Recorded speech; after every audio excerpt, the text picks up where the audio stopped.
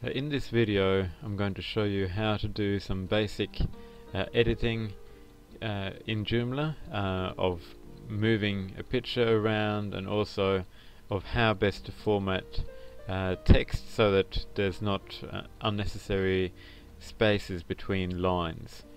So um, firstly we have logged into this this website.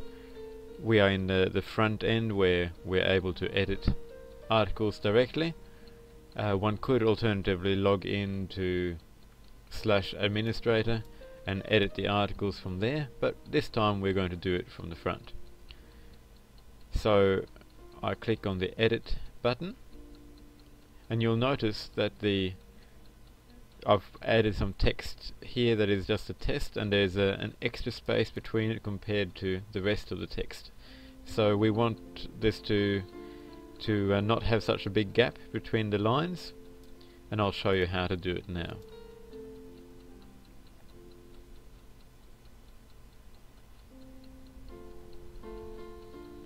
Okay, you can make the editor window a bit larger by using the mouse like this, clicking and dragging. Now, to decrease the space between these two lines, I'm first going to go back to the one line and then I press shift and enter that causes the text to go on the immediate next line rather than having a a break in between like it would have if it is a new paragraph. Now uh, about adding a picture to this page we click on the insert edit image button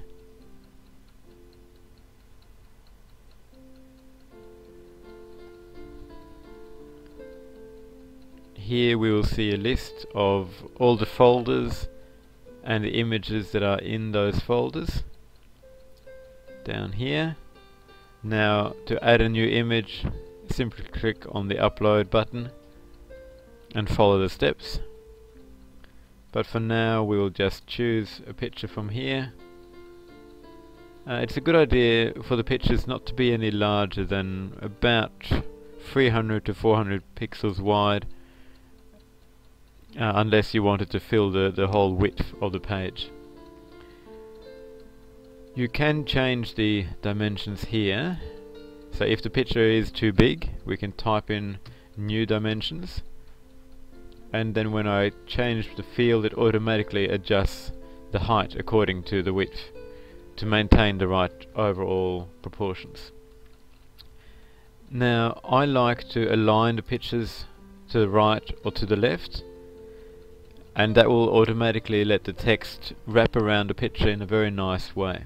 So we choose right and we add a margin which again adds a bit of space around the picture. You can add a border but I, I don't normally do that.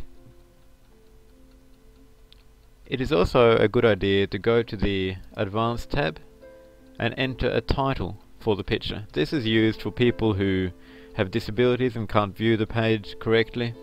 Um, it is also used in regards to Google, so it gives it a description of what this picture is, and it also gives a clue of what your website is all about. So you could, for example, put a text here for um, Commando lawn mower on special. Then we click insert and now finally we will save our changes and here we can see that firstly the text we edited first is now on two lines next to each other and the picture is nicely aligned to the right. So I hope this helps. This is a, a brief intro to editing text in Joomla.